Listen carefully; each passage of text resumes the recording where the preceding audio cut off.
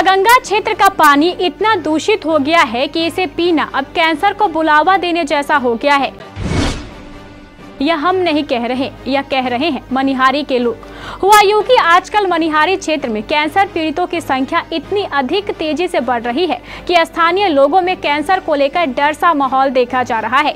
स्थानीय लोगों का कहना है कि पहले तो हम कैंसर का सिर्फ़ नाम ही सुनते थे, लेकिन अब स्थिति यह है कि हमारे आसपास ही दर्जनों की संख्या में कैंसर के रोगी नज़र आ रहे हैं। इसका कारण कोई और नहीं, बल्कि गंगा के दूषित पानी को बताया जा रहा है। सर, बहुत दुख की बात है। कि बघार पंचायत में आज एक समस्या खड़ा हो गया है। आपको मालूम होगा पंचायत समिति के भाई नारद जी नाम है वो भी कैंसर से पीड़ित है। हमारे माननीय मुखिया जी का सास भी कैंसर से डेथ कर गया और साथ ही साथ आज वो, वो होम गार्ड में काम कर रहा है रामप्रीत यादव उसको भी कैंसर हो गया। ये कैंसर जो है इतना जानलेवा बीमारी हमारे गाँव में फैला हुआ है। हमारे माननीय मुखिया जी जी इनके द्वारा जाँच जाँच करने के समस्या पर दिए हुए हैं, सारा रिपोर्ट किए हैं। और हम आप लोगों को मीडिया के माध्यम से कह देना चाहते हैं कि अविलंब इस पर जो है सरकार का ध्यान आकर्षित किया जाए और इन लोगों को सहयोग देकर इनके कैंसर से निजात दिलाने का काम किया जाए। कैंसर 2022 में हुआ था और किस कारण से हुआ तो हमें जानकारी नहीं है। लेकिन हम महावीर पटना से इलाज कराए हुए हैं और करा हमने अपना ऑपरेशन कराया है। और कराने के बाद अभी तो फ़िलहाल ठीक दिखाई दे रहा है लेकिन देख रहे हैं कि कैंसर बार बार मेरे समाज में बढ़ते जा रहा है। अब पता नहीं क्या दोस्त है हम लोग को पानी में दोस्त है या और किसी प्रकार की बात है। हमने पिंटू यादव मुखिया जी इस बात के बारे में बोले तो बोले ठीक है हम इसका जाँच करवाते हैं। ताकि हमारे समाज में बहुत ज़्यादा इस बीमारी का बढ़ावा हो। रहा है। बहुत ज़्यादा है। बहुत लोग डेट कर गए बहुत लोग इलाज चल रहा है।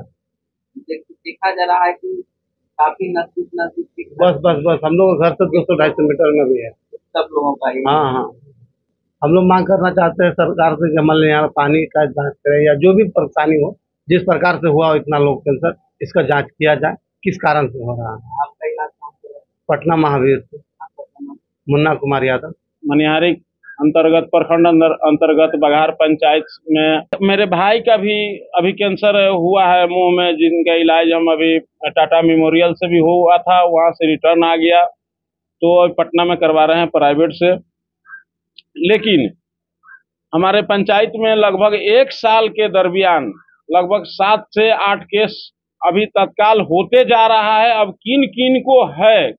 अब ये बिना जाँच का पता चलेगा नहीं, जब भयावह रूप ले लेता है तो लोगों को पता चलता है कि, मैंने कौन सा बीमारी हो गया है? और होने के बाद अभी, लगभग अभी वर्तमान मेरे घर से 200 मीटर की दूरी में, पाँच केस है ऐसा जो कि अभी मैंने तत्काल ट्रीटमेंट जिनका कहीं ना कहीं से चल रहा है। और इस स्थिति में लोग को अब ये सब सुन के अब डर न लगने लगा पंचायत के लोगों को कि क्या होगा?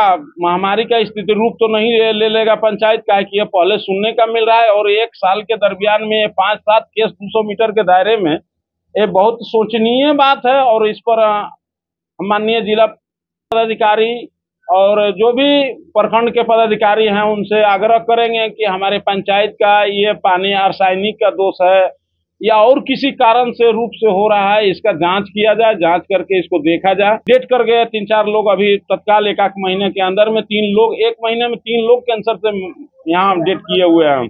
ठीक ना? मेरा भाई का नाम नारद कुमार यादव है। मेरा पिताजी का नाम उमा शंकर यादव है। जी अभी मुँह में कैंसर हुआ है। अभी अभी फ़र्स्ट उसका केमो मैंने हम करा रहे हैं अभी। और एक फुंसी टाइप का हुआ था जो मुँह में और वो विकराल रूप ले लिया है अभी जिसमें एक महीना से तो उसका खाना पीना सारा बंद है। मैंने जूस पी के काम चल रहा है उसका चाहे परिस्थिति जैसा भी हो। हाँ? सुपति यादव मेरी पत्नी पंचायत समिति है।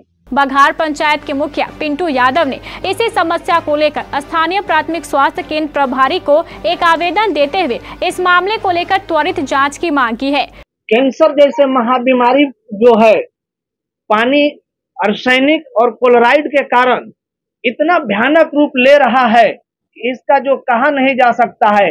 मैं प्राथमिक, प्रभारी प्राथमिक स्वास्थ्य केंद्र मनिहारी, अनुमंडल अस्पताल मनिहारी और कटिहार सिविल सर्जन और जिला पदाधिकारी महोदय और अनुमंडल पदाधिकारी महोदय को आवेदन कल ही मैं प्रेषित किया, उनके ईमेल पर भेजा है कि इसकी तत्काल जो है कमेटी बनाकर, इसकी जाँच की जाए, उच्च स्तरीय जाँच की जाए, ताकि लोगों का जान का रक्षा हो सके।